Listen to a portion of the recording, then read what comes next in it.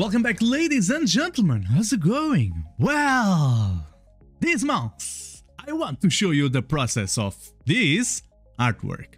I take the imagery from Envato Elements and if you don't know about Envato Elements, is a place where you can find unlimited downloads to over 50 million stock photos, Photoshop actions, brushes, fonts, effects, graphics, etc. I found this image from there and I thought it to be interesting to create this artwork. Music is part of my life, as you know, because of dance, and I love the sound of violin.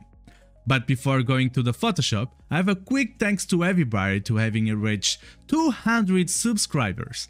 For continuing like that, I will need your help to continue growing.